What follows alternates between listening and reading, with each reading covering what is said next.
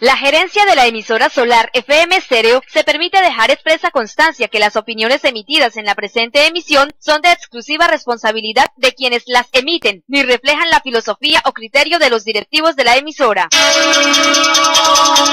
Desde muy temprano trabajamos para que usted permanezca bien informado. Aquí comienza La Comunidad Informa, primera emisión, con los hechos que son noticias locales, nacionales e internacionales. La Comunidad Informa, primera emisión. Bienvenidos. Cuando amanece en Colombia. La comunidad es la que informa en los 107.7 FM. La comunidad informa las noticias en solar.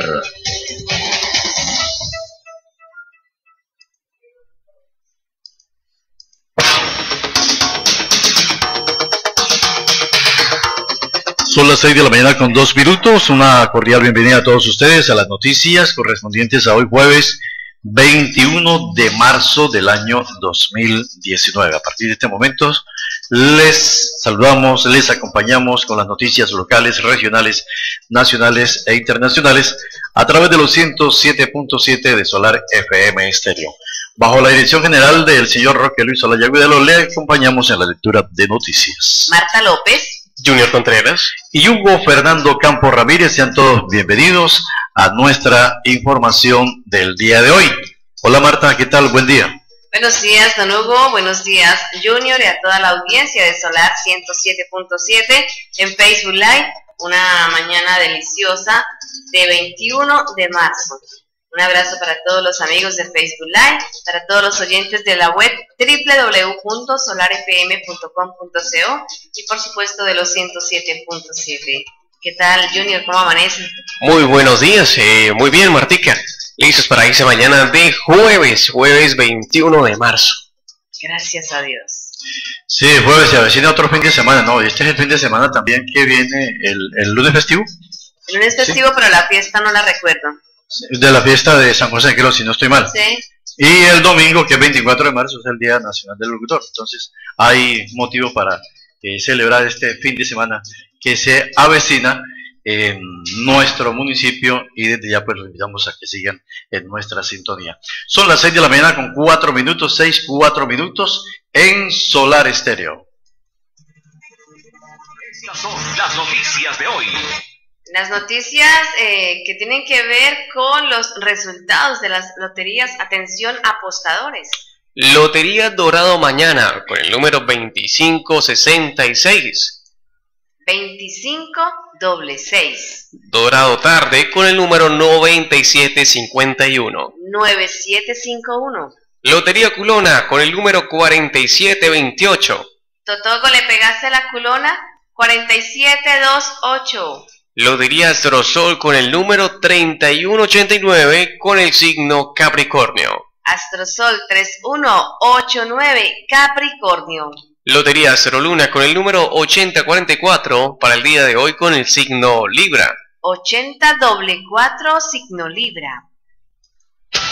Escucha de lunes a sábado de 6 a 7 de la mañana. La comunidad informa primera emisión con los hechos que son noticias locales, nacionales e internacionales. La comunidad informa primera emisión. La comunidad informa primera emisión. Las 6 de la mañana con 5 minutos. Entramos entonces en materia informativa a nivel local. que tenemos por acá, Junior? Saludos por acá para los amigos que llegan a Facebook Live, Totogo González. Salud y muy buenos días, nos escribe a esta hora en Facebook Live. También llega a la sintonía don Juvenal Moncada. Bienvenido a las noticias del día. Y Totogo González nos responde que hace días que no le pega la corona, nada que gana. Bueno, ahí. Saludando a nuestros oyentes, nos eh, comienzan a ser también a nuestros oyentes que están a través de la frecuencia 107.7 FM reportando sintonía aquí en Don Hugo. Familia Tavera. Doña Luz Dari y don Gerardo en La Brillantina. Buenos días. Sistema informativo. Muy bien, eh, se están preparando ya, se han llevado dos reuniones para los preparativos del aniversario del municipio de Cimitarra, como quiera. En Cimitarra, pues la fecha oficial de cumpleaños es el día 22 de abril. Eh, por motivo de calendario, entonces se va a, a celebrar durante los días 25 y 26, o sea que ahí va de cachete la secretaria, ¿no? El 26 de abril es el día de la secretaria, ¿cierto? Sí, señor. Eso no se ha modificado. Para que nos quede libre el día 21 22 de abril para celebrar el Día de la Tierra como debe ser. Sí, entonces dice acá la celebración entonces será 25 y 26, jueves y viernes. La celebración entonces para el aniversario de Cimitarra. Al respecto, le preguntamos a la señora Mercedes Murillo cómo se va programando esta conmemoración de un aniversario más de la capital de la provincia del Carare y esto nos contó. Gracias, don Hugo, muy amable y un placer por verlo a tener en nuestra tierra. Eh, de verdad que hoy muy complacidos porque ya llevamos dos reuniones con la comunidad eh, para poderles plantear la, la, temática que vamos a tener este año sobre el aniversario. Primero, la fecha. Eh, la primera reunión fue con los directivos de las instituciones educativas del municipio y la segunda con parte de la comunidad. Una parte de la comunidad, nos falta la parte de los músicos y otras organizaciones que nos hicieron falta. El evento se va a realizar, Cimiterra cumpleaños el 22 de abril pero por siendo esto un martes, entonces se posterga para el jueves y viernes, que es 25 y 26 de abril. Entonces la idea es que primero vamos a tener la serenata, como todos los años regalamos una serenata a nuestro municipio, donde participan todos los músicos y los grupos musicales que hay en la actualidad. Y en las horas de la mañana del día 26 llevaremos a cabo la alborada musical. De la alborada vamos a tener de igual manera unos juegos pirotécnicos y en las horas de la tarde, a partir de las 3 de la tarde, el gran desfile cultural, porque eso, con eso es que hemos siempre celebrado nuestro aniversario para que en la memoria de los cimitarreños y de quienes nos acompañan en el municipio siempre tengan en cuenta que Nunca hemos dejado mientras hemos podido y los jefes, nosotros, los de alcalde nos han permitido, hemos celebrado el cumpleaños del municipio por eso que siempre recordaremos que la comunidad nos ha acompañado en todos estos procesos y aprovecho esta oportunidad para las gracias y para invitarlos a que sigamos construyendo una cimitarra linda y cultural. Bueno, señora Mercedes, en esta oportunidad también pues se pega ahí la fiesta de la secretaria, o sea que se celebra el aniversario del municipio, entonces también para que las secretarias puedan disfrutar tanto la parte cultural como la noche que haya la orquesta, como siempre se ha celebrado en las instalaciones del Parque Principal Francisco de Paula Santander. Como siempre, la parte educativa los centros educativos a nivel rural, pues tienen esa gran disposición para participar, ambientar con mucha creatividad esta celebración tan importante que se ha cumplido en los últimos años con lujo de detalle y que se distingue por la parte cultural, no solamente en el aniversario, sino también en el marco de la ferias. Sí, gracias, don Hugo. Sí, nos agradecer inmensamente a la parte educativa, a los docentes, a los centros, a los centros rurales, a las instituciones educativas del área urbana, porque ellos siempre nos han colaborado, nunca nos han dicho no. Entonces, entonces es por ello que siempre estaremos agradecidos y a la comunidad, a los padres de familia, a los alumnos que nos han llevado siempre en este proceso. Igualmente, la directora de la Casa de la Cultura nos comenta sobre el tema que se va a tener como eslogan, como plataforma para esta conmemoración del aniversario de Cimitarra en este año 2019. Queremos contarles que este año se llama la fiesta cívica. Es una fiesta cívica porque vamos a, celebrarla en torno a la conmemoración de los 200 años, es decir, el bicentenario de Colombia. Estamos cumpliendo 200 años de independencia a nivel nacional. En todas las esferas se está llevando a cabo esta celebración. Nosotros no podíamos quedar atrás. Es por ello que nuestro evento va a ser en torno a los 200 años de independencia. Entonces, ¿qué hemos construido en los 200 años en nuestro municipio? ¿Hasta dónde vamos y para dónde vamos? ¿Cierto? Entonces, la idea es que mostremos lo que tenemos y lo que hemos construido en nuestro municipio en estos 200 años de historia, pues los que tenemos un poquito más de edad podemos contar a los jóvenes y a los niños qué pasó en esa época. O sea, aquí en esta oportunidad vamos a ver en el desfile muchos eh, personas eh, simbolizando los próceres de nuestra independencia por las principales calles de Cimitarra. Sí, y mostrarlo quiénes fueron los que, los primeros personajes que también hicieron presencia, los españoles, quienes fueron los que pasaron por estas tierras. Es como volver a, a revivir un poco la historia y volver otra vez a retomar de lo que fuimos y lo que iremos a seguir construyendo.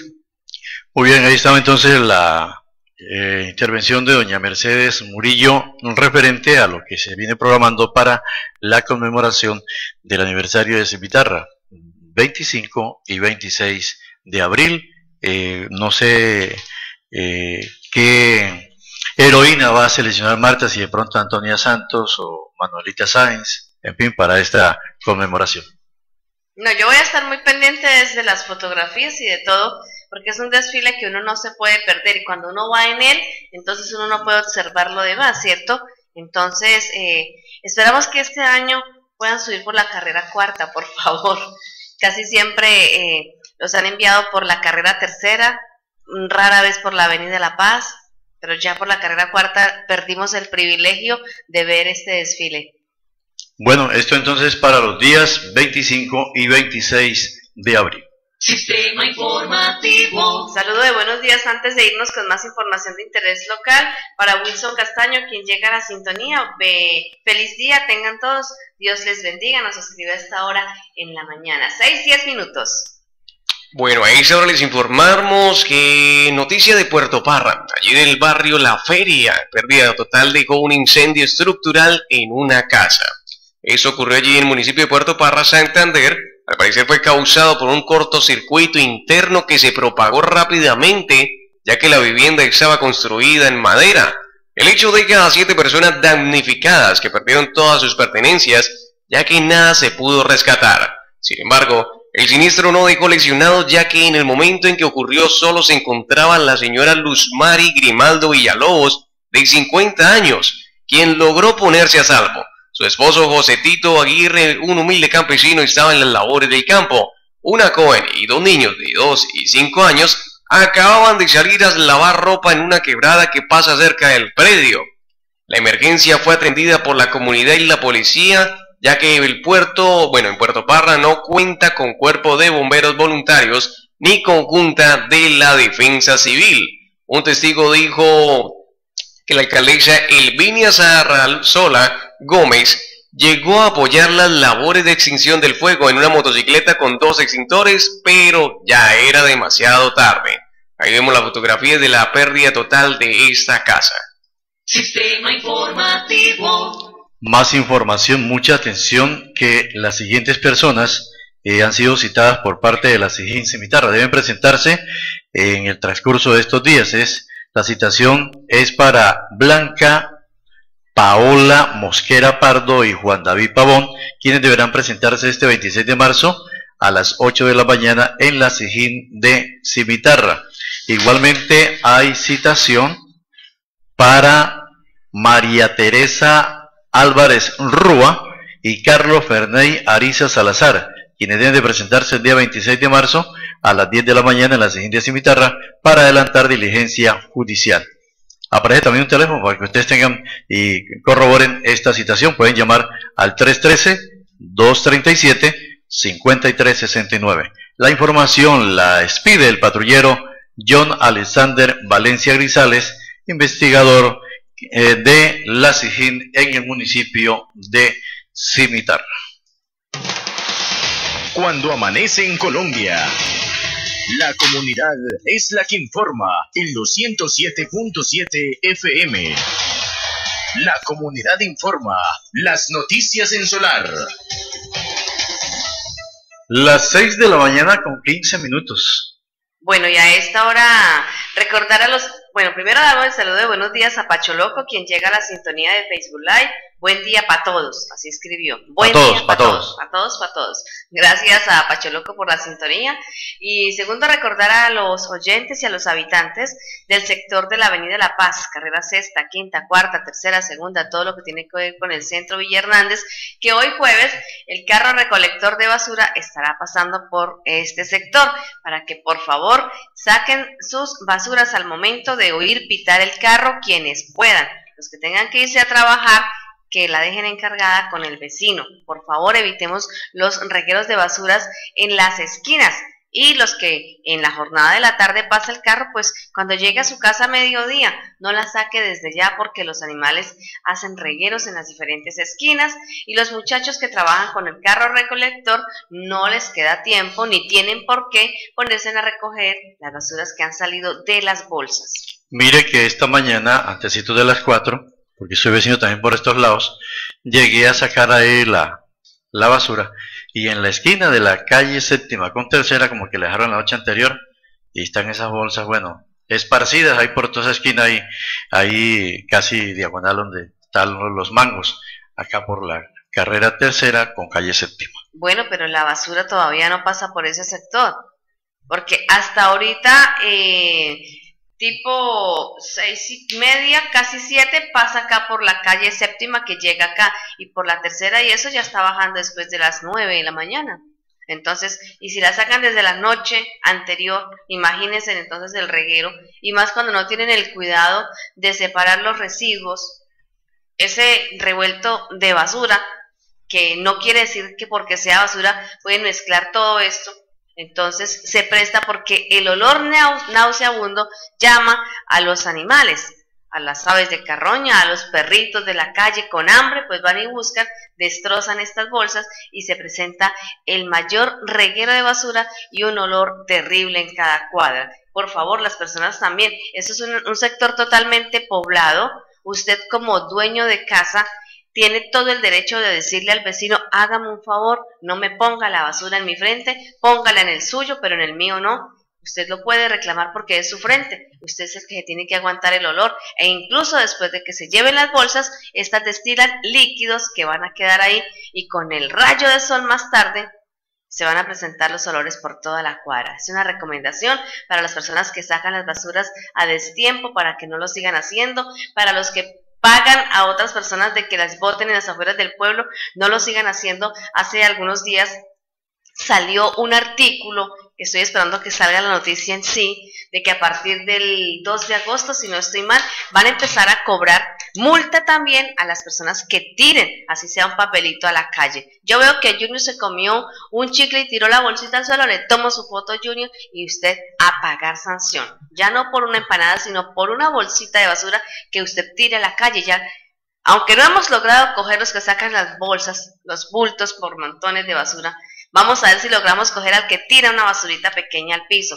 Esto también se va a castigar dentro del código de policía e incluso ya está circulando en el Facebook eh, un video en el cual están multando también a alguien por estar eh, transportando en su vehículo a una persona que no tiene nada que ver con su vínculo familiar, solamente por ser amistad, ya toman esto como que está haciendo el transporte informal y esto tampoco se puede hacer. Entonces, si usted va a llevar a su novia, que certifique que sea su novia. Si va a llevar a su mamá, a un hermano, tiene que llevar un documento que identifique. De lo contrario, si es a una persona particular eh, que no es de su familia, eso ya es transporte informal y también va a estar sancionado. Entonces, son cosas que se ven, que se presentan, aunque en el día de ayer estuvimos hablando en la comunidad informada y que en cada municipio el alcalde tiene la potestad de sancionar o no. Entonces, Vamos a ver qué pasa ahora con esta situación. Pero la que tire, la persona que tire basura a la calle, que sea sancionada, eso sí está muy bien. A ver si podemos por fin lograr eh, sacudirnos un poco de tanta basura que tiene nuestro planeta. Trabajamos para que usted permanezca bien informado con los hechos y sucesos del acontecer diario. En la Comunidad Informa, primera emisión. La Comunidad Informa, primera emisión. Noticias regionales, nacionales e internacionales en Solar Estéreo. La Comunidad Informa, primera emisión. La Comunidad Informa. ¿Sabe alguno de ustedes cómo se llama el señor Pacho Loco? Ahí aparece, nos dice... ¿Sabía? Ah, Yo sabía, no. Eliezer Cañaveral. Ah, usted sí sabía. Yo iba a saludar a don Eliezer Arias Cañaveral, que está en sintonía y resulta que es el mismo Pacho Loco. Por acá nos certifica el gerente de Solar que el señor Eliezer eh, es el mismo Pacho Loco. Un abracito entonces. Y para Gladys Olaya, quien nos está viendo también a esta hora. ¿Cuál es el pico y placa del día? Pico y placa en la ciudad de Bucaramanga, Martica, el día de hoy para las placas terminadas en número 7 y 8. Recuerden que el horario es de 6 de la mañana a 8 de la noche. Y el pico y placa para la ciudad de Bogotá, el día de hoy para las placas en número impar, ya saben, 1, 3, 5, 7, 9, en el horario de 6 de la mañana a 8 y 30 y de 3 de la tarde a 7 y 30 de la noche. Y pensar que este pico y placa en las ciudades por lo menos en la ciudad de Bogotá, como que casi ni se sintiera porque la contaminación que hay en la ciudad de Bogotá, eso más que todo lo hacen quizás por movilidad, más no por, eh, por, por ayuda al medio ambiente. Me hizo acordar, ayer veía yo un desfile de motos que no se sabía cuál de todas, acá en Cimitarra botaba el humo más negro. Qué cantidad de motos en Cimitarra con el humo negro y yo no sé cómo se llama esto, aparte que es falta de tecnomecánica. Entonces estamos en el municipio de Cimitarra, que si seguimos así, con tanta moto que se ve que circula, y si todas votaran el humo así, Dios mío. Mal en la parte de emisión de gases. Emisión de gases, pero terrible. Mejor dicho, tal vez tienen ese virus que está dando, todos tenemos eh, emisión de gases oscuros, Dios mío, Señor. Está terrible en el municipio de Cimitarra esta situación, debería de alguien que se preocupara por esto porque están circulando como si nada. Daisy Pinilla de Landazuri, feliz día. Gracias, mire, Daisy. Mire que esto de, del medio ambiente se puede eh, marcar la diferencia cuando se, se, hace la fecha o se cumple el día sin carro. Ahí sí se marca la diferencia. Por eso ya ciudades como San Gil ya están haciendo el día sin carro. Creo que el Socorro también, Barranca Bermeja ya tienen algunas fechas del día sin carro y ahí se ha notado la, la ciudad de Medellín también le ha tocado sufrir durísimo con esta situación de, de de la contaminación en el aire. ¿Qué pasa? Hay muchas industrias y eso sí. pues por ende, o sea, las ciudades a mayor a la mayor eh, tener eh, sede de industria, pues eso mayor contaminación. Uh -huh. Hace unos días hicieron como especie de un ¿cómo era? Como especie de un simulacro en la ciudad de Bogotá, si no estoy mal, era una persona que se dedicaba a servicios a domicilio, pero no me acuerdo si era algún reportero, eh, perdón, algún de alguna empresa de, de, de, envíos.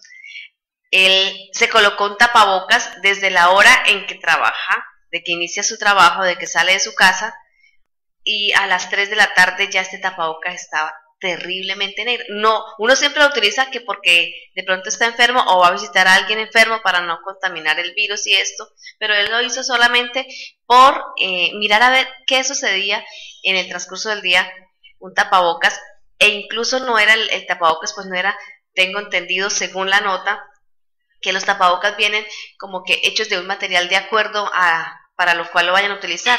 Y este tapabocas a las 3 de la tarde ya estaba con todo el humo ahí, toda la contaminación del día, a las 3 de la tarde, faltaba todavía por recorrer más. Entonces las personas que habitualmente andan por ahí sin, sin cuidar, sin cuidar su, su integridad en cuanto a la salud, imagínense toda la cantidad de, de humo, de, de, contaminación que, que ingiere su virus cuerpo. que uno recibe. ¿Mm? Eso es lo que repercute después en, en, las gripes, los malestares y más cuando hay cambio de clima, mucho eh, es mucho, mucho más eh, eh, que propenso uno a caer en estas eh, con infecciones. Y aún así uno está, la gente está en cimitarra y me voy para la capital. Pobre Totogo allá en Bogotá, use tapabocas todo el tiempo, Totogo. Por acá manda risitas Pacholoco, ¿Será porque la adivinamos? No, no la adivinamos. Por el nombre. Gracias eh, al señor Martín Munera, que también está en sintonía solar. Estas son las noticias. En la comunidad informa. Son las 6 de la mañana con 25 minutos. Tiempo de más noticias a esta hora aquí en la comunidad informa. Casos han aumentado en un 250% con respecto a 2018 respecto a la alarma por incremento del dengue en Santander. Ante el aumento de casos de dengue en el departamento, el gobierno de Santander a través de la Secretaría de Salud adelanta diferentes acciones preventivas pedagógicas para lograr disminuir los casos. De acuerdo con la semana de epidemiología número 10, número 10 del 2019, se han presentado 930 casos de dengue, de los cuales 443 son signos de alarma, 487 con signos de alarma y 5 graves. El director de Salud Integral del Departamento de Santander, eh, de Salud Departamental, José Orlando Quintero, explicó que los casos de dengue presentados en Santander, comprobados con la misma semana durante el año 2018, eh, representa un aumento del 250%. Los municipios que aportan mayor número de casos de dengue según el Sistema Nacional de Vigilancia en Salud Pública, CIVIGILA, son Bucaramanga con 194 casos, Florida Blanca con 123 casos, Cimitarra 107 casos, Pie de Cuesta 82 casos y Barranca Bermeja 68 casos.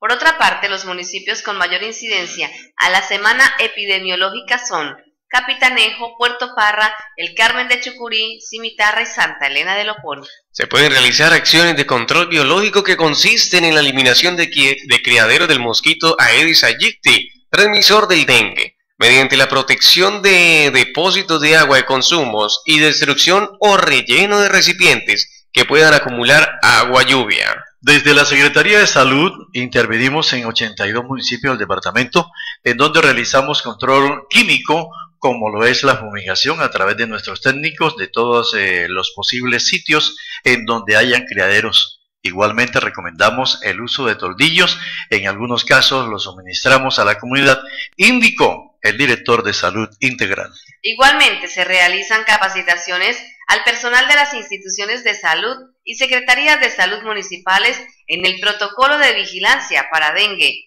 unidades de análisis de las mortalidades por dengue, solicitud de informes de brote a los municipios que se encuentran en esta situación epidemiológica y el desarrollo de salas situacionales de dengue. En la semana epidemiológica 10 se evidencian 487 casos de dengue con signos de alarma, de los cuales se han confirmado por resultados de laboratorio 227.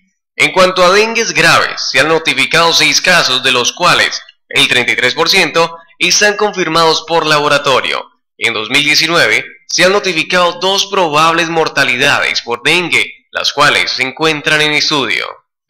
Trabajamos para que usted permanezca bien informado con los hechos y sucesos del acontecer diario. En la Comunidad Informa, primera emisión. La Comunidad Informa, primera emisión. Noticias regionales, nacionales e internacionales en Solar Estéreo. La Comunidad Informa, primera emisión. La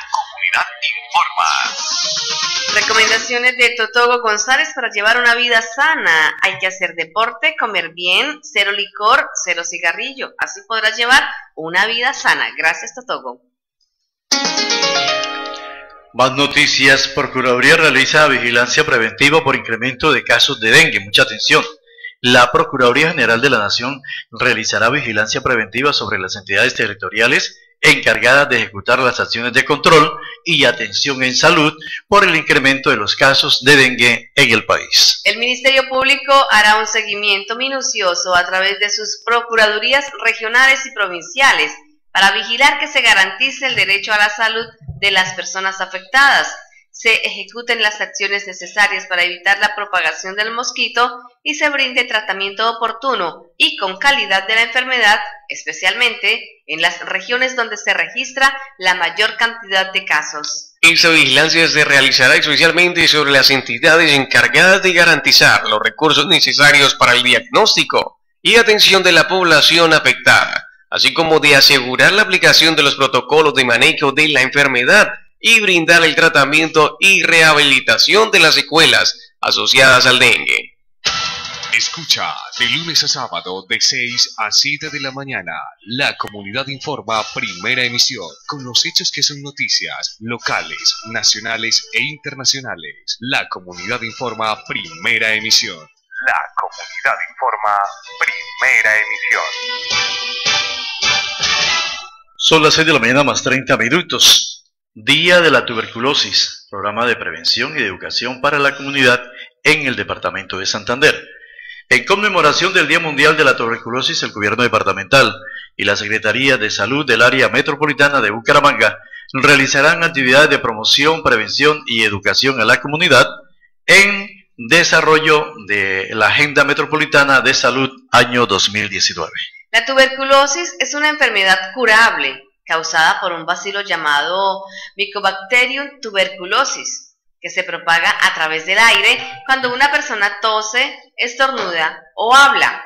Santander es priorizado por el nivel nacional por su tasa de incidencia de 30 casos por cada 100.000 habitantes, agrupados en los municipios de Bucaramanga, Barranca Bermeja, Florida Blanca y Girón, que aportan el 84% de casos notificados al sistema de vigilancia en salud pública. Bueno, recordamos que el Día Mundial de la Tuberculosis es este domingo 24 de marzo. El programa de tuberculosis de la Secretaría de Salud fortalece las estrategias de búsqueda activa de acciones enfocadas a la eliminación y adherencia al tratamiento, logrando aumentar la tasa de éxito en un 72,8% para el 2017 Dentro de los síntomas están la tos con expectoración por más de 15 días, fiebre, pérdida de peso y sudoración nocturna. Es de recordar que la tuberculosis tiene tratamiento y en Colombia es gratuito.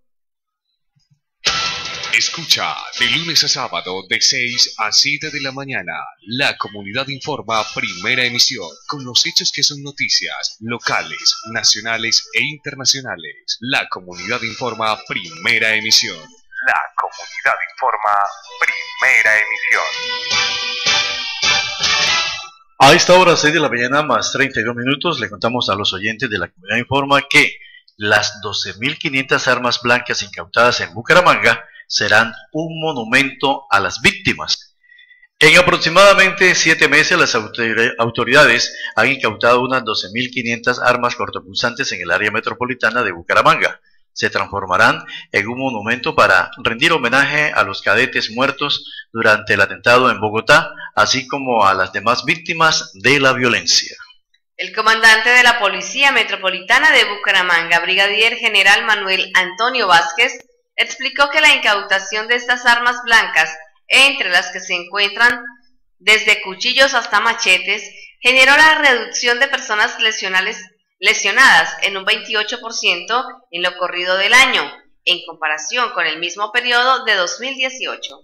Durante este año se han reportado 629 lesionados con armas blancas, Mientras para la misma fecha del 2018 la policía registraba solo 874 casos, lo que significa una reducción de 245 casos.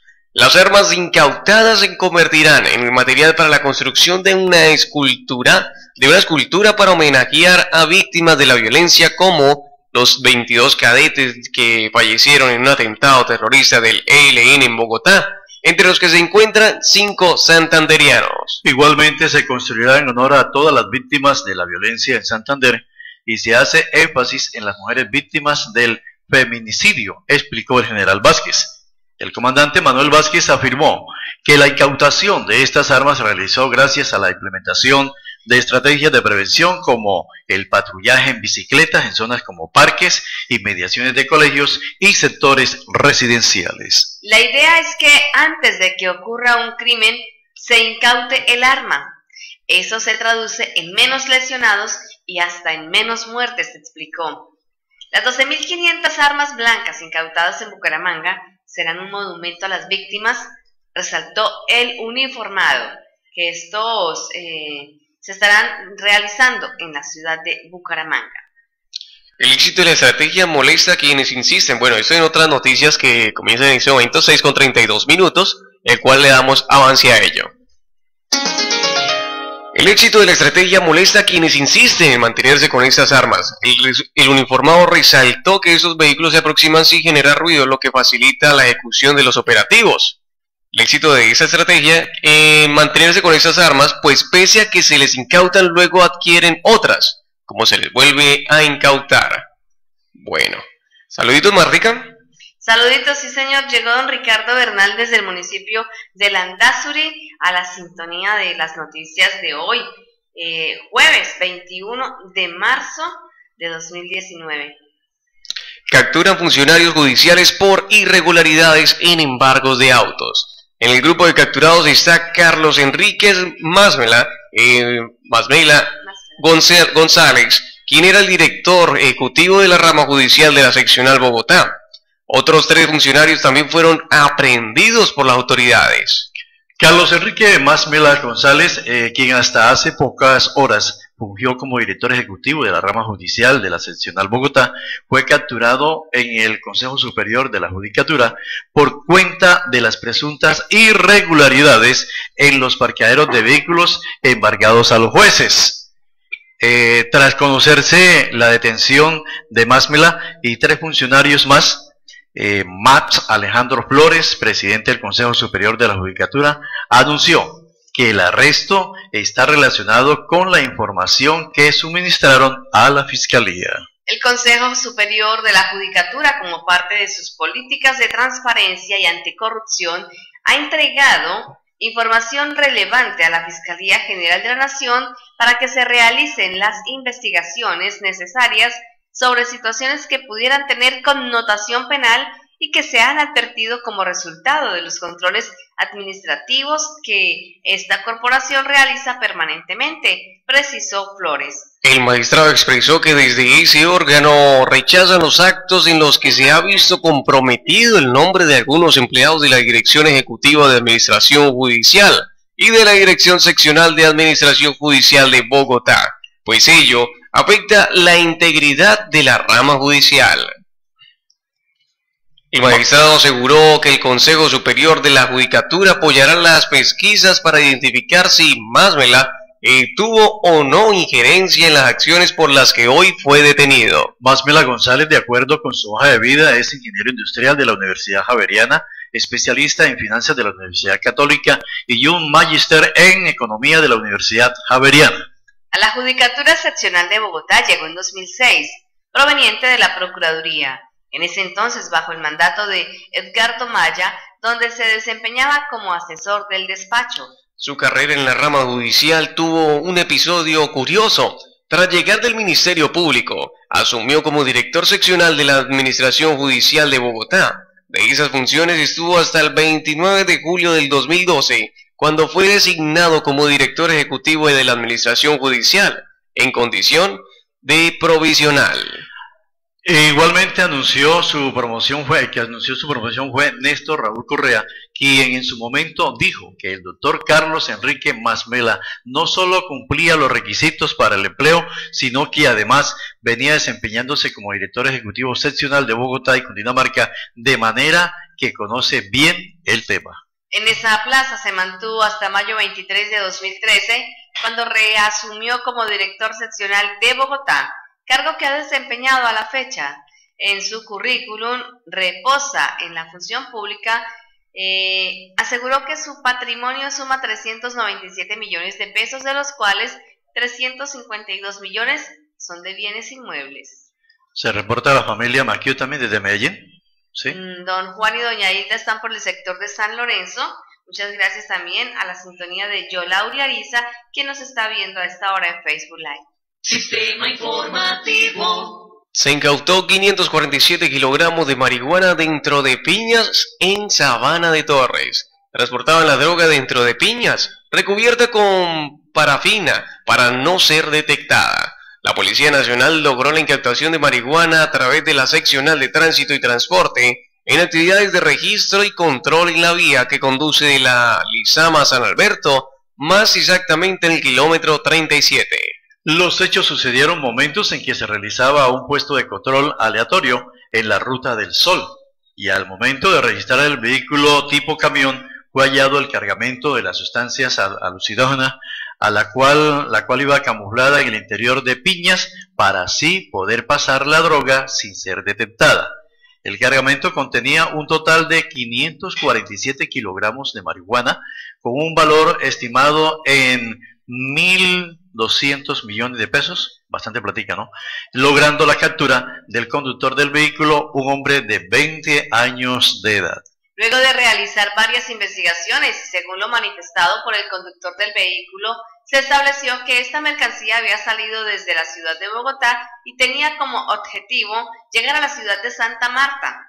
El capturado y los elementos materiales probatorios fueron dejados a disposición de la Fiscalía General de la Nación, Asimismo, se adelanta un proceso investigativo con varias personas vinculadas con tráfico de esta sustancia.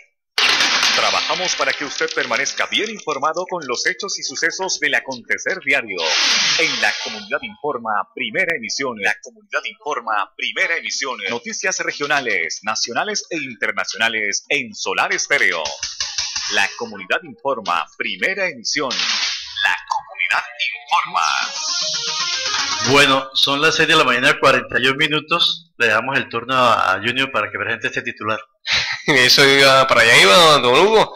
Una noticia, mucha atención, bastante curiosa, pues mujer murió después de tener relaciones sexuales por más de 5 horas. La mujer falleció luego de una aparente sobredosis de drogas, tras una larga sesión de sexo con su pareja.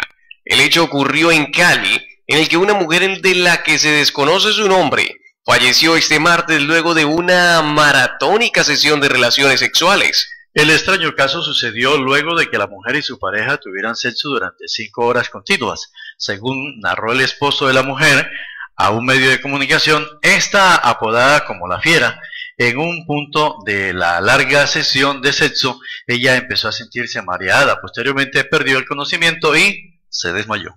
El esposo llamó a una ambulancia que la trasladó a un centro médico de Cali.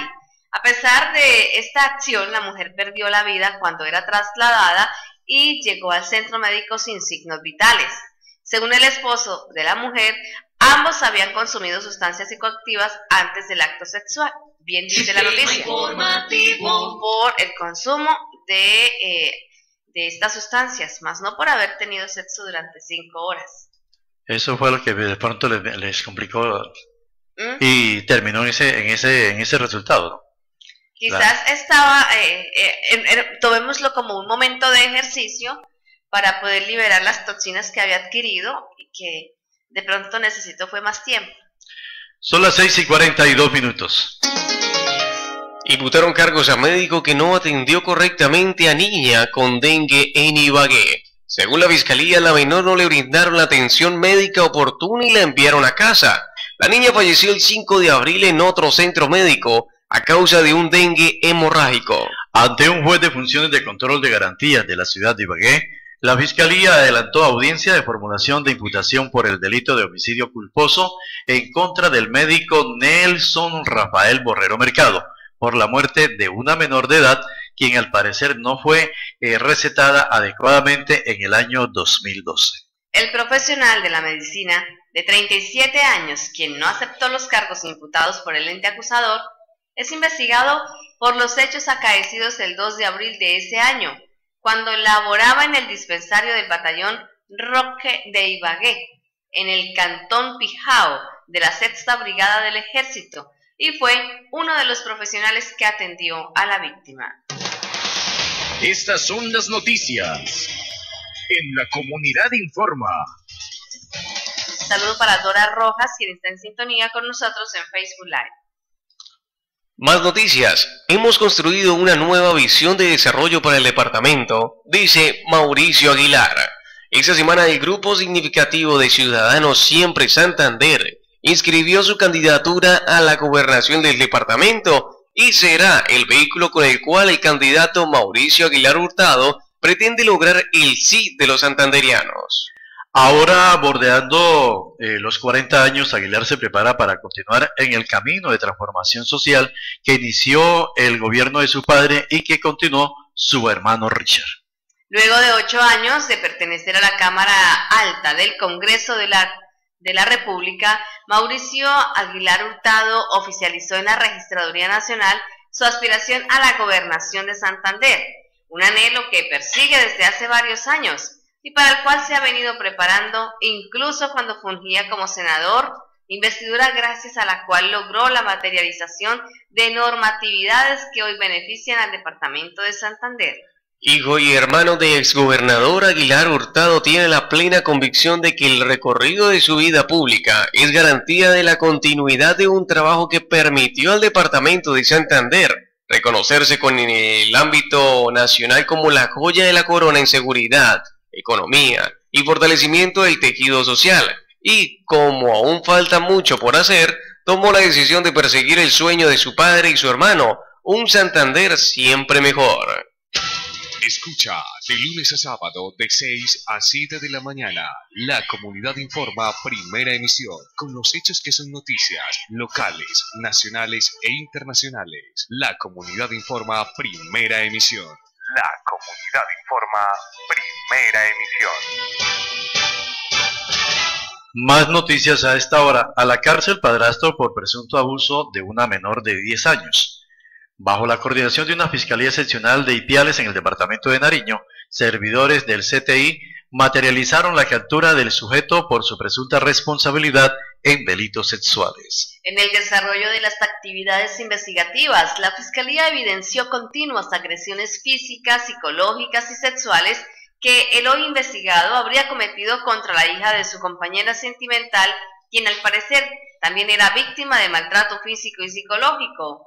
Los hechos ocurrieron en la casa de la pareja ubicada en el corregimiento de Cuatis, vereda Yale, jurisdicción del municipio de Gualmatán, en Nariño. Ante un juez con funciones de control de garantías de Ipiales Nariño, el investigado deberá responder por los delitos de acceso carnal abusivo agravado con menor de 14 años en concurso con violencia intrafamiliar.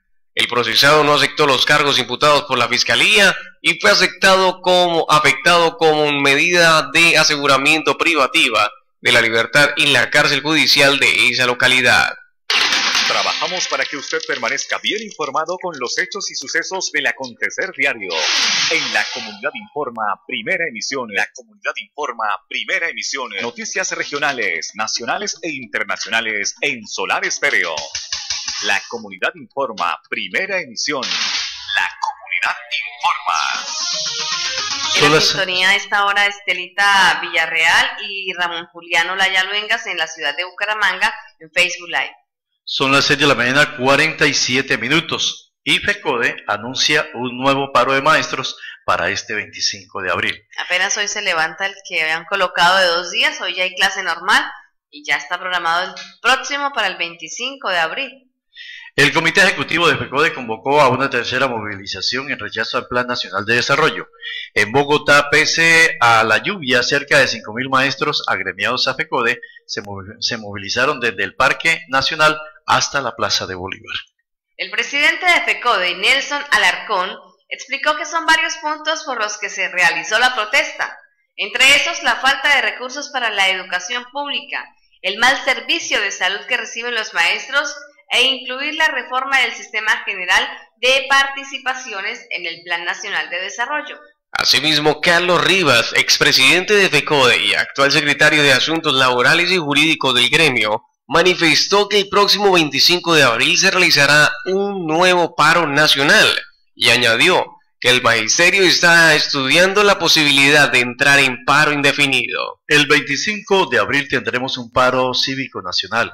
De todas maneras, seguimos en la negociación con el gobierno, pero si no se define la situación lo más pronto posible, estudiaremos la posibilidad de un cese de actividades indefinidas, puntualizó. Cabe resaltar que el paro de 48 horas que cumplió FECODE durante el martes 19 y miércoles 20 de marzo es el segundo que se realiza en el año y cerca de 8 millones de estudiantes se vieron afectados sin clases por las movilizaciones. Estas son las noticias en la comunidad informa. 6.47 minutos en la comunidad informa el micrófono cívico de Solar, 6:47 minutos. Un abrazo de buenos días para nuestra audiencia del kilómetro 21, el 19, a mis oyentes de Landazuri. Muchísimas gracias por estar con nosotros a esta hora. Contarles que la temperatura de Bogotá aumentaría 4,5 grados en el año 2100. La variabilidad climática ha provocado la temperatura anual que aumente en la ciudad de Bogotá, donde se espera, según expertos, que para el año 2100 esta suba en un promedio de hasta 4.5 grados. Según la Secretaría de Planeación de Bogotá y Cundinamarca, la ciudad y varios municipios de la sabana tienen muy alta amenaza, sensibilidad, vulnerabilidad y riesgo por cambio climático, temperaturas que significan un riesgo para la población infantil y del adulto mayor. Por eso expertos dicen que el gran reto de la sociedad es que aterricen las acciones multiniveles para el cambio climático dirigido a disminuir las emisiones de gases de efecto invernadero, afirmó Cristian Díaz. También se cree, eh, también se cree las eh, altas temperaturas ponen en inseguridad las fuentes hídricas y por consiguiente podría reducir la producción en las regiones. Sistema informativo. Si así como están ya se siente frío. Yo siento Yo creo que frío en Bogotá, imagínense, más frío. No, aumentaría el calor. Aumentaría. La noticia hablamos sobre el centígrado, sobre el calor. Que la temperatura sube. Y eso que yo diría que es poquito, 4,5 grados, yo creo que serían más para 2100. Entonces ya podemos ir a Bogotá. Ya podemos, para ti sí. Yo ya puedo ir a Bogotá. Bueno, un abracito por acá nos escribe eh, Ramón Julián. Buenos días, mesa de trabajo. Feliz día. En la sintonía de Facebook Live. y enviarle saludito también a nuestra audiencia del Casanare, oyentes que nos ven, que nos oyen a través de la web www.solarfm.com.co y contarles, entre otras noticias, que hay que tener cuidado con las medicinas comunes que pueden causar problemas cardíacos. Según la Sociedad Europea de Cardiología, publicó una investigación donde analizaron medicamentos comúnmente usados que son altamente causantes de problemas cardíacos. El estudio de la Red Europea de Paro Cardíaco Repentino, quienes son los responsables del análisis, utilizaron los datos del registro de estudios de reanimación de Ámsterdam y el registro DANES de paros cardíacos para dar con este hecho.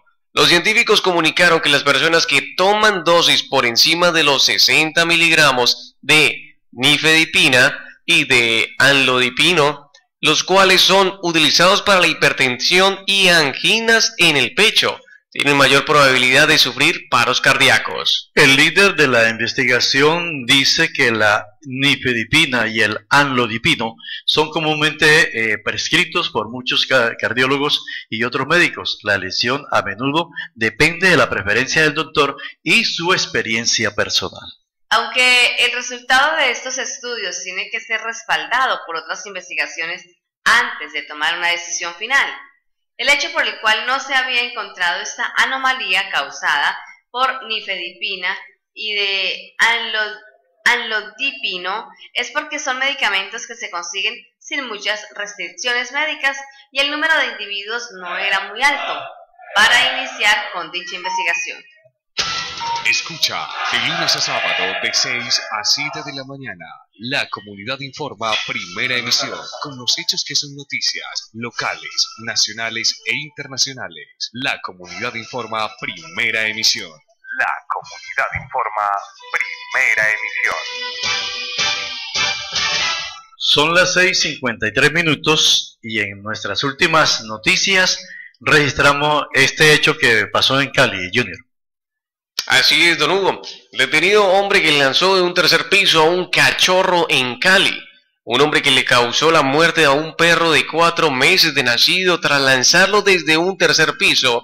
Fue capturado por la policía cuando iba a ser agredido por la comunidad indignada por el hecho. El caso se presentó en el barrio Mariano Ramos al oriente de la ciudad de Cali, donde el hombre arrojó al pequeño eh, perro, siendo sorprendido por una patrulla de la policía que pasaba en ese momento por el sector. La comunidad del sector rechazó este acto calificándolo como atroz y ayudó a la aprehensión de este hombre quien enfrenta cargos por violar la ley 1774 en contra del maltrato animal, dijo el intendente Eliezer Zorrilla, comandante del Grupo de Protección Ambiental y Ecológica de la Policía Metropolitana de Cali. De acuerdo con el Centro de Zoonosis, el cachorro de raza criolla sufrió traumas craneoencefálicos falleciendo en el acto.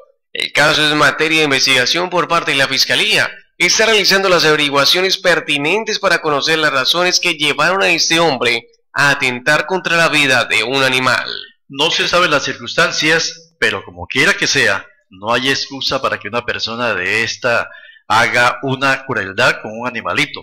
Tendría que estar enferma, porque una persona en sus cinco sentidos no creo que vaya a atentar contra un indefenso animal, puntualizó el oficial de policía. El hombre que se encuentra bajo la custodia de las autoridades debe afrontar su situación jurídica y que le podría acarrear entre 12 a 36 meses de prisión fuera de una multa de 5 a 60 salarios mínimos legales vigentes que le pueden imponer una vez se ha encontrado culpable de agredir a la mascota. Muy bien, son las 6 de la mañana, 55 minutos y 30 segundos. Así estamos llegando a la parte final de las noticias de hoy, 21 de marzo de 2019, día jueves. Bueno, a todos y todas gracias por la sintonía. Se despiden esta mañana. Marta López, Hugo Fernando Campo y Junior Contreras bajo la dirección general de Roque Luis Olaya. Saludos para todos y muchas gracias por acompañarnos, por permanecer eh, con nosotros todos los amigos de Facebook Live que llegaron y se quedaron con nosotros. Con los hechos que fueron noticia local, nacional e internacional, hemos presentado La Comunidad Informa, primera emisión. Esta es HK K88 107.7 Solar Estéreo, transmitiendo desde Cimitarra Santander. Solar FM Estéreo, una emisora comunitaria y participativa. Solar FM Estéreo, la nota musical del Magdalena Medio.